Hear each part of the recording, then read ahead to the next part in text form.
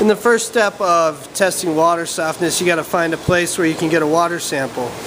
So this is a line that uh, goes back to our boiler, which comes through the water softener. So we know this should be a treated water line.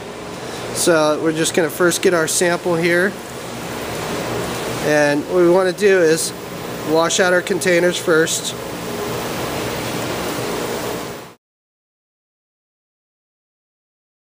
Okay, first step, we take our topped off water, place our bottle over the top, and you can see it hanging in there. We drain it to get a full sample. Then we take our reagent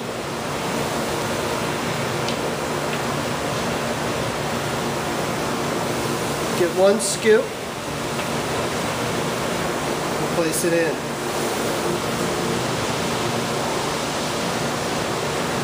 We can see this went to blue, so that water's soft. Here we have our sample. You can see it's to the top. So we take, we put the bottle directly over, flip, and drain.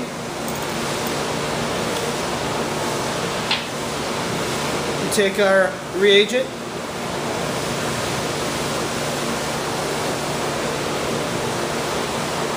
Get a nice scoop.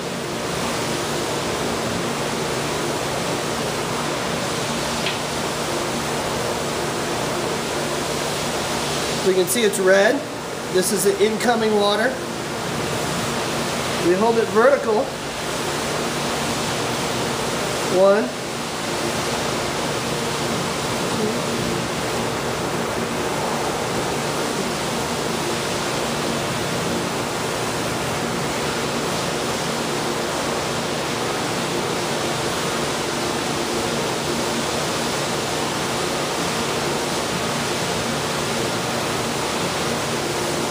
Nine grains.